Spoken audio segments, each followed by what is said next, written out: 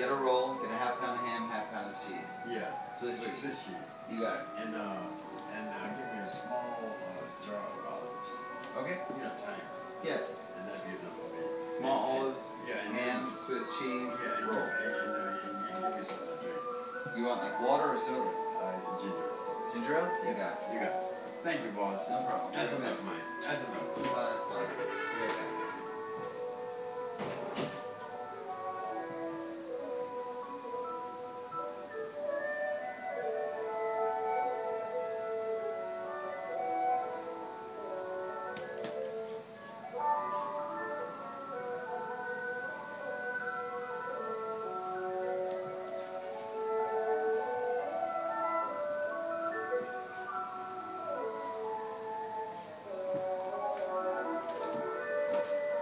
You got it, my dear?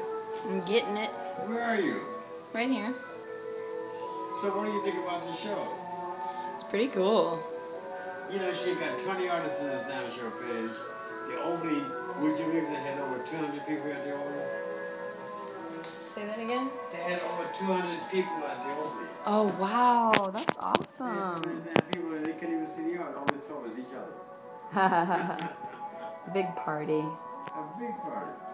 Half of them was Seems like it'd be a fun crowd. of them was up here, half of them was back in their garden. Did you have fun? I had a good time. Good. The oldest person in the whole show is about 22 years old. Uh huh. rest is young folks. You can imagine the energy level. Then they had live music on top of back in the garden. They had poets back in the garden. And then they had dances back there too.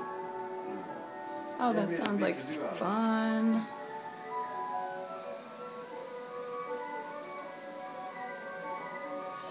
I can believe that girl sent you an email and told you to cancel.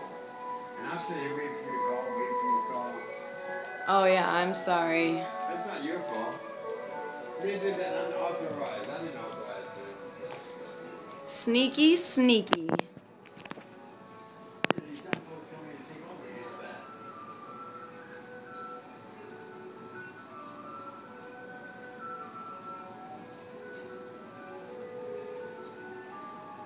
You can always feel. F- You want to see the folks? When you going out to Montana again? oh, I don't know.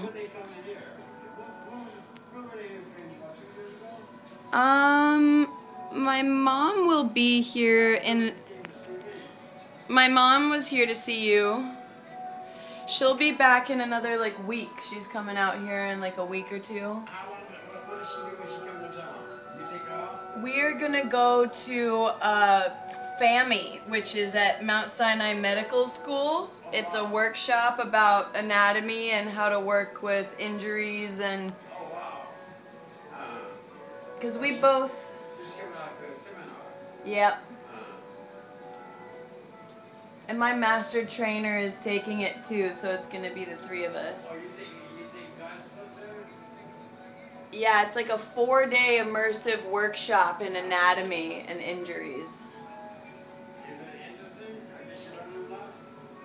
My well, I've never done it, my mom's never done it, but my master trainer has done it, and she says that she goes every year and doesn't miss it because it's amazing. I mean, Mount Sinai has got a reputation for being ahead of the curve. So it's exciting to get to do something in New York that's not really happening anywhere else.